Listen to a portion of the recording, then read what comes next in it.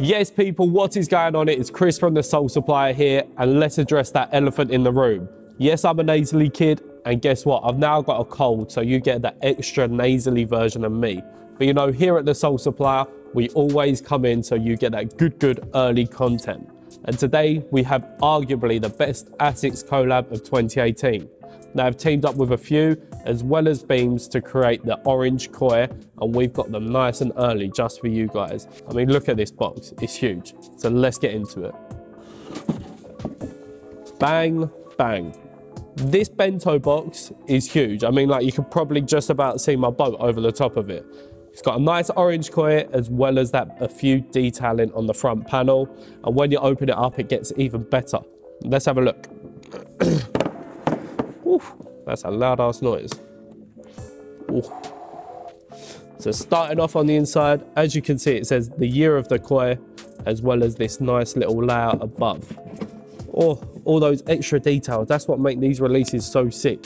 So you get a nice pamphlet with the history of the orange koi, a bandana because what else do you need when you buy your crepes, as well as some incense sticks. So your room's gonna be smelling fresh, you're gonna be looking fresh. What more could you ask for from a pair of trainers? But let's be honest, we only care about the sneaker. So let's get into the next level of that box. Oh, Jesus.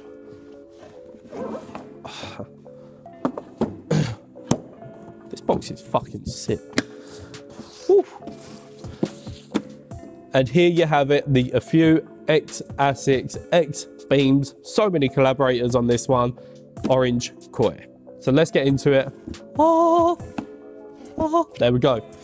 You get a spare pair of insoles because us sneakerheads love having all these little added additions. You also get two pairs of laces as well as the goodies that are in that bento box. But if you do buy them online, that is an exclusive for in-store. They may make it online, but let's be honest, from the 2015 release, they were an instant sellout. And here you have it, the orange Koi by Afew and ASICS and Beams. So, the Koi initially launched in 2013 as a one of one.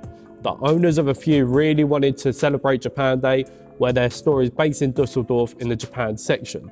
With over a million people celebrating Japan Day in Dusseldorf each year, they wanted to work with a Japanese brand to release a shoe, but ASICS said that they weren't a big enough store at the time, so they made their own one of one, creating the Red Koi. It instantly made many people's top 10 shoes of the year back in 2013, and it clamoured for people for ASICS to actually work with them. Fast forward two years, and in 2015, to celebrate the Gel-Lyte III's 25th anniversary, they finally released the Red Koi exactly the same as issue, but with red paneling where you see all of the orange. I personally have a pair and it's one of my grails. It's such a sick shoe.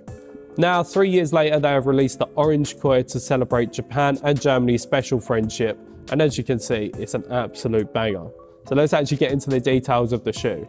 So starting on the toe box, we have this vibrant orange in a premium suede. It's that buttery stuff where you stroke it and it's just oof, uber soft and you get those nice brush strokes.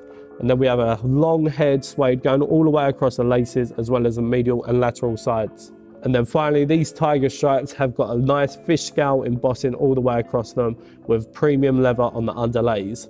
Absolute banger. And then this leather then comes around onto the iconic split tongue. If you take a look at the heel counter, you have Afew's branding and then on the other shoe you have beams as well as this nice little Japanese symbol for friendship. If I show you this shoe here, we then have a world map just here and with that it signifies a friendship between the two brands. Looking at leg sides, as you can see there's also nice bamboo detailing and the orange theme continues all the way throughout. Rounded off with a nice speckled heel counter, but the sole is where this shoe comes to life. Oof. Bang bang, you have that koi camo with the black, orange and white, as well as a translucent midsole here with an illustration of the koi fish. This shoe is crazy. The levels of detail that Afew have gone into it, absolutely mental. And for me, it's one of my top 10 of the year. There's been so many sick releases, but ASICS are officially back with this launch. Coming out this weekend, they will be releasing in-store first, so expect a very, very difficult cop and they may not make it online.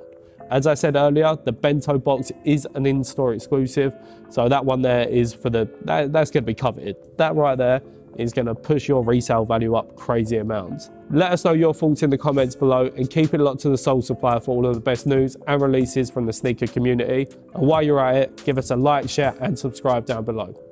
See you.